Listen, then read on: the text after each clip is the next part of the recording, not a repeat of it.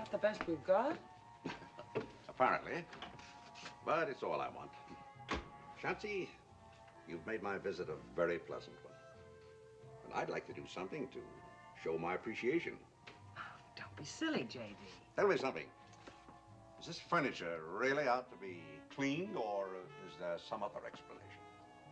You don't have to worry about that. Did you sell it or hock it? Well, we sold it. Will they sell it back?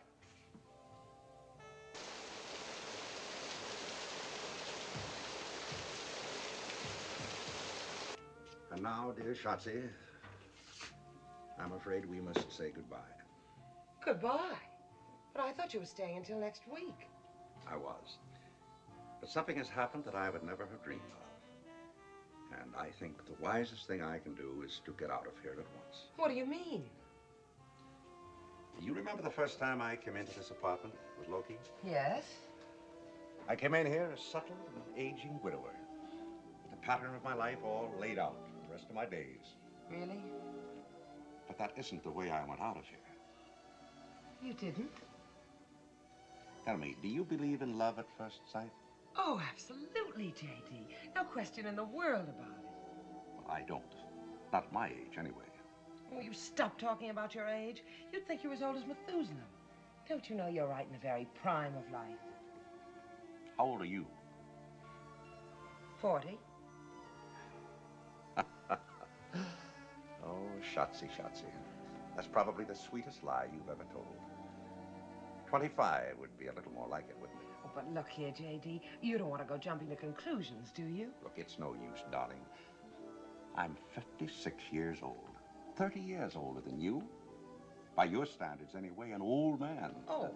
Now, we might be able to support this difference for another four or five years, perhaps. But what happens when I'm truly old? But listen, J.D. I hate young men.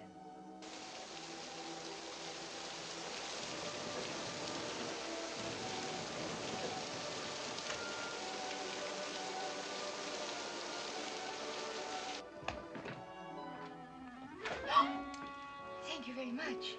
That's all right. Have you got to go already? I'm afraid to. Well, nighty-night.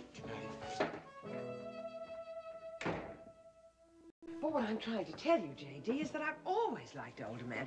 Look at Roosevelt. Look at Churchill. Look at that old fellow, what's his name, an African Queen. Absolutely crazy about him. So you see, J.D. Pardon me. Hello, come in. I hope I'm not intruding. You're entitled to such a hope, I believe. Oh, don't let her kid you, Pola. I've got to be going anyway. So early? Yes, I'm uh, flying home tomorrow morning. Oh, no. I've got to. Goodbye, my dear. It's been a great pleasure knowing all you girls. Goodbye, J.D. Come back, will you? Well, someday, perhaps. Goodbye. What time does your plane leave? Nine o'clock. Don't you believe anything I say at all? I believe that nothing could be more wonderful for me than marrying you. And nothing worse for you. Will you call me before you go? Oh, that's too early for you. Please. Very well. Good night, darling.